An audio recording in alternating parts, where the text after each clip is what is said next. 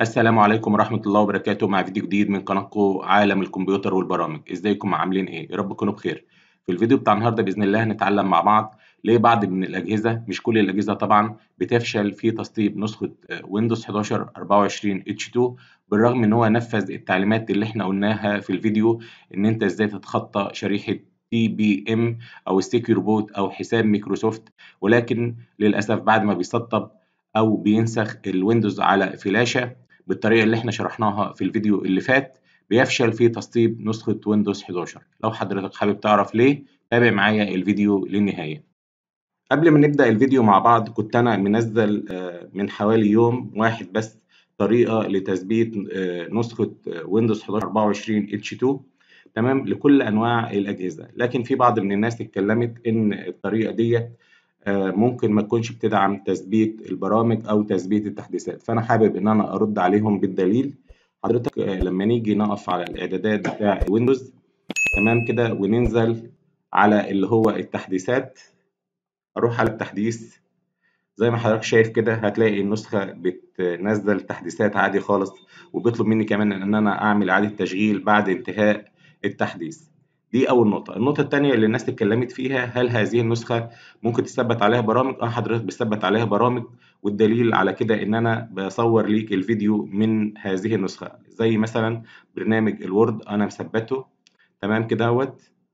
آه وكمان النسخة سريعة جدا يعني في الأداء. وبرنامج كامتازيا اللي أنا بصور بيه مثبته على النسخة فالنسخة بتدعم تثبيت البرامج بمنتهى البساطة. تمام؟ لو حبيت أوري لحضرتك بالدليل إن دي النسخة اللي إحنا اتكلمنا عليها هفتح ليك اللي هو النظام تمام؟ وانزل عند حول النسخة تمام؟ هتلاقي حضرتك زي ما قلت لك اللي هي نسخة ويندوز 11 Pro 24 H 2 طبعا دي النسخة المخففة اللي أنا عملتها وثبتها على جهاز الكمبيوتر بتاعي وعايز أقول لحضرتك إن هي نسخة سريعة جدا وممتازة.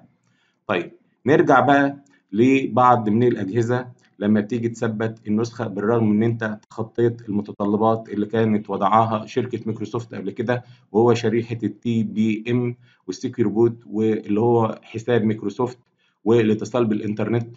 طبعا كل الكلام ده إحنا عالجناه في النسخة اللي إحنا اتكلمنا عليها. يعني النسخة اللي أنا عملتها دي هتتخطى حساب مايكروسوفت هتتخطى ال Secure Boot هتتخطى ال TPM كل ده هتتخطاه المشكلة حضرتك إن في بعض من الأجهزة مش هتقبل النسخة ديت.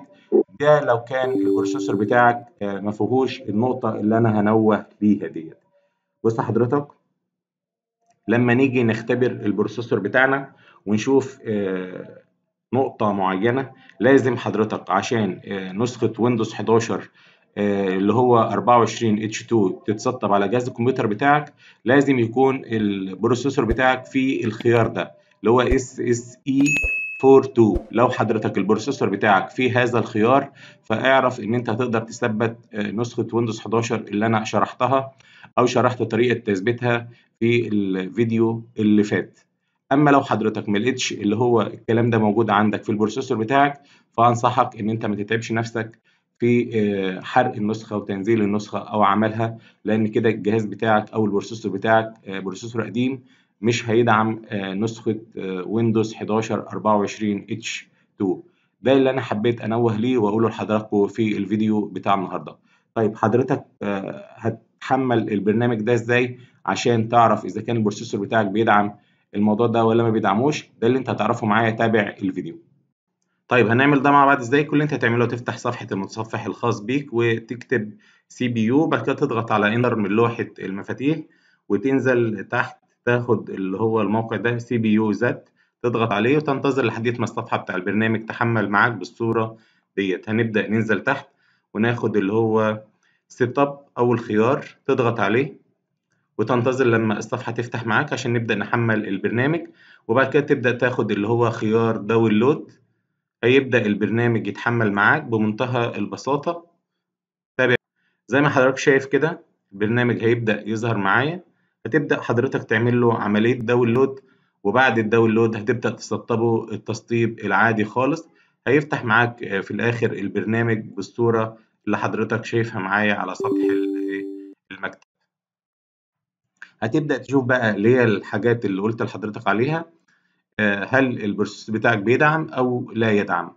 لو لقيت ال processor بتاعك آه، اللي هي فيه SSE 42 اعرف ان انت كده ال- الجهاز الكمبيوتر بتاعك هيدعم تسطيب نسخة ويندوز 11 لو ما لقيتش يبقى من الأفضل حضرتك إنك ما تتعبش نفسك لأن الجهاز بتاعك مش هيقبل نسخة ويندوز 11 آه، اللي هي 24 H 2 بكده الفيديو بتاعنا النهارده يكون انتهى. لو انت استفدت منه وتعلمت شيء جديد ما تنساش طبعا إن انت تدعمنا بال like وال share والاشتراك في القناة عشان يوصلك منا كل جديد. والسلام عليكم ورحمة الله وبركاته.